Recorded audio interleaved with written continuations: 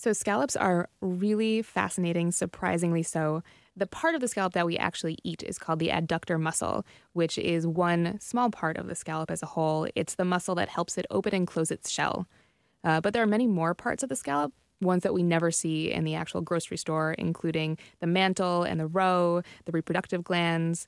Um, hmm. Scallops have eyes. They have more than 100 eyes right around the mantle at the edge of their shell, wow. each one with its own lens, retina, and optical nerve. I know, it's fascinating. It's really interesting. And scallops swim. So when we started researching scallops at America's Test Kitchen, I went down the rabbit hole of YouTube videos of scallop swimming, and there's a surprising number of them.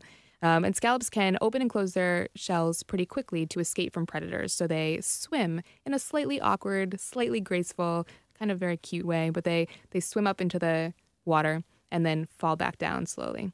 So their their adductor muscle, the one that we end up eating, has a very strong purpose, which is moving them around in the water. Okay, so when we shop for scallops, I often see the only thing I see they call them wet scallops. What's the difference? What are we looking at when we're buying scallops? So there are generally two types of scallops that you can see at the store to buy, and that is wet and dry scallops.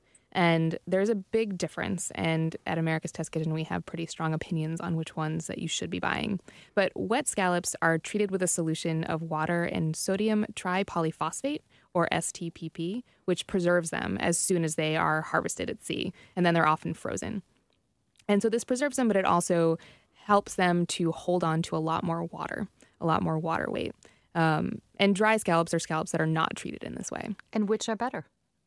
Dry scallops, hands down. The STPP helps retain moisture in the scallops, but it also imparts a kind of soapy taste and mm-hmm. a bouncy texture after they're cooked. So we really don't prefer them. And actually, when we started researching scallops for a book that we're working on, um, we, of course, being America's Test Kitchen, decided to try it out ourselves. So we tested a number of scallops by soaking them in a solution of STPP ourselves and then freezing them, thawing them, and cooking them to see how they were. And um, they weren't that good to be hmm. honest. They had a lot more water in them. They weight a lot more. When you cook them, they release a lot more water because there is so much more water trapped within them. And releasing water when you cook them prevents them from getting that good brown, crusty sear on them because there's so much moisture. Uh, dry scallops haven't been treated in that way. They are a little bit sweeter and fresher tasting, much more preferable. Okay, often they're not marked dry or wet. So, how do we know what we're buying when we're buying? Is there a test? Well, first ask. I think that's always the first best step.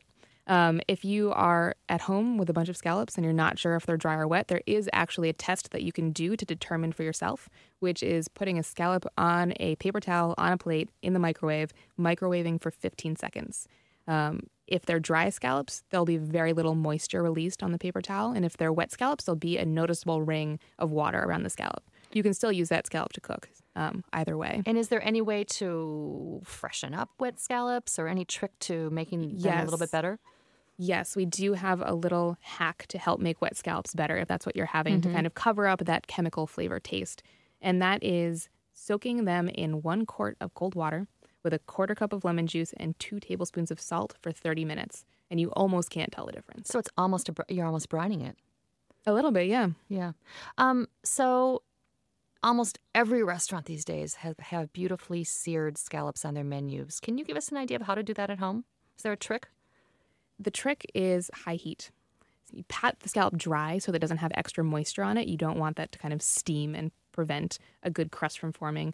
But high heat, uh, you stick that scallop down in there and let it get a nice crusty brown Maillard reaction, delicious side to it. Flip it. Then we often add butter and kind of baste the scallop in a little bit of butter so it finishes cooking all the way through. So you start with a really high pan and then put the scallop in and then don't touch, correct? Don't touch. Okay. Exactly. You wait for that perfect crust. It's hard not to touch our food. It is very hard. you got to hold out. I know it's really rough. Molly, thanks for coming in. Thanks so much. Molly Birnbaum is the executive editor of Cook's Science from America's Test Kitchen. Sally Swift is our managing producer. Now, we have the details from Molly for the perfect pan seared scallop. Find the recipe at splendidtable.org.